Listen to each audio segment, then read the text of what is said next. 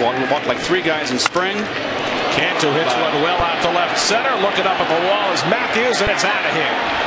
Jorge Cantu with his first home run of the season, and he puts the Marlins back in front two to one.